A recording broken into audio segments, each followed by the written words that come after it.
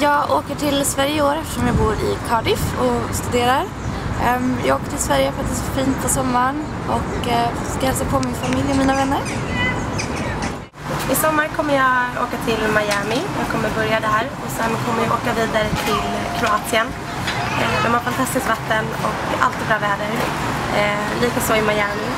Efter det åker jag vidare till Marbella. Så det är tre ställen som jag starkt rekommenderar, så åk dit. Jag funderar på att åka till Marbella eller Kroatien.